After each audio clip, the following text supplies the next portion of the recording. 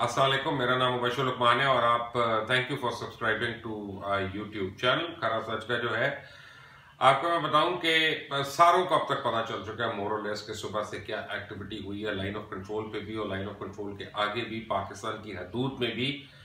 But اس پہ ایک بڑا ٹرکی ایلیمنٹ اب آ گیا۔ پاکستان نے انڈیا کے پائلٹس کو گرفتار کر لیا۔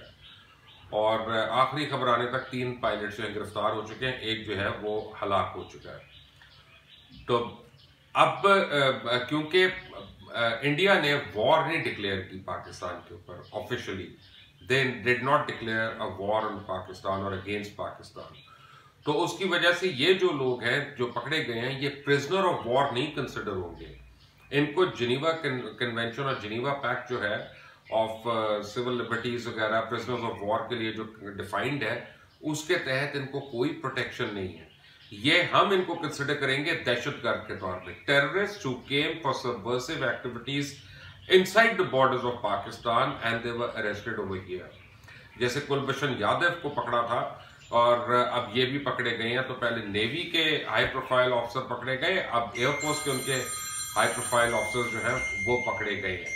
اب یہاں پہ ایک بات بڑی امپورٹنٹ ہے اور سوچنے کی ضرورت ہے اس میں۔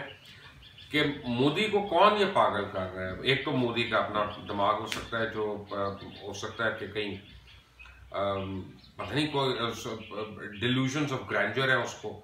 کہ گجرات میں اگر وہ نہتر مسلمانوں کو اس نے قتل عام کیا تو اس نے سمجھا کہ وہ پاکستان پہ بھی اس طرح سے کر لے گا تو یہ اس کی غلط فہمی ہے۔ We have one of the best armies in the world اور میں ریٹورک نہیں کہہ رہا، یہ وہ آرمی ہے جو پچھلے گیارہ سال سے، بارہ سال سے ایکٹیولی دہشت گردوں کے خلاف لڑ رہی ہے۔ ان دہشت گردوں کے خلاف جن کے آگے امریکہ اور روس سب نے گھٹنے ٹیکے ہوئے تھے، پاکستان آرمی ٹوٹے موہن ساؤتھ وزیرستان میں، نارتھ وزیرستان میں، سوات کے اندر ڈیفرنٹ آپریشنز کر کے ان دہشت گردوں کو ڈیگ آؤٹ کیا، ان کو ایلیمنیٹ کیا۔ یہ وہ لوگ ہیں جو بچوں کے خلاف دہشت گردی کرتے ہیں، جو بچوں کو قتل کرتے ہیں، شہید کرتے ہیں۔ یہ وہ لوگ ہیں جو دشمن کے سر سے فٹ بال کھیلتے ہیں، جو کسی بھی انسانی حقوق کو نہیں مانتے۔ ہم نے ان کو ایلیمنیٹ کیا اپنے ملک سے۔ اور آہستہ آہستہ اب وہ انشاءاللہ بالکل ختم ہو جائیں گے۔ تو انڈین آرمی جو ہے، جو ایک بڑی کوزی اور کمفرٹیبل لائف سٹائل میں بالی ووڈ کے آگے بیٹھ کے اور اپنے پبز میں اور اپنے بارز میں بیئر سپنگ آرمی جو ہے، وہ اگر یہ سوچتی نا کہ وہ ہم سے ہینڈ ٹو ہینڈ یا کمپیکٹ پہ کنونشنل وار میں لڑ سکتی ہے، تو یہ غلط فہمی ہے۔ اور یہ اجے دیوگن جیسے جو بیوقوف لوگ ہیں، جو صرف فلموں میں کام کرتے ہیں، وہ بیٹھ کے نا وہ mess with the best and die with the rest us type کی ٹویٹس جو کر رہے ہیں وہ سب کو مروائی اجے دیوگن، تمہاری وجہ سے تمہارا پائلٹ ایک مر چکا ہے اور تمہاری وجہ سے تین اور پائلٹس تمہارے کیپچر ہو چکے ہیں۔